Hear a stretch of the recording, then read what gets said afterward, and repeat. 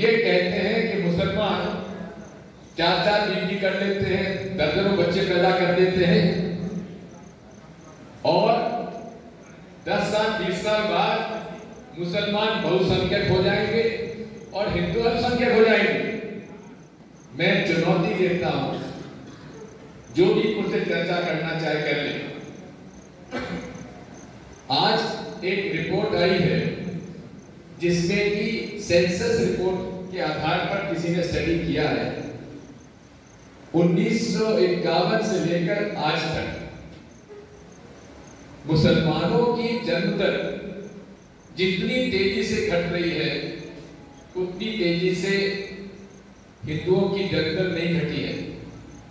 लेकिन आज भी मुसलमानों की जन्म दर करीब दो दशमलव पाँच है।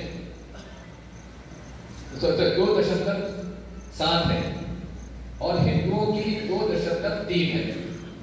यानी कि परिवार में 2.3 परिवार आ जाता है उनका 2.7 है लेकिन जिस प्रकार से जनसंख्या की जन दर घट रही है 2028 तक हिंदुओं की और मुसलमानों की दर बराबर हो जाएगी 2028 तक।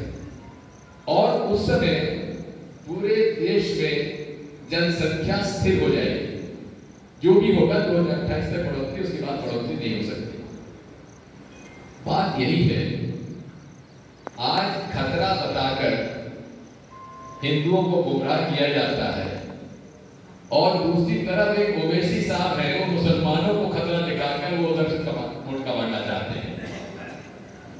तो नरेंद्र मोदी को खतरा बताते हैं। ना हिंदुओं को खतरा है ना मुसलमानों को खतरा है।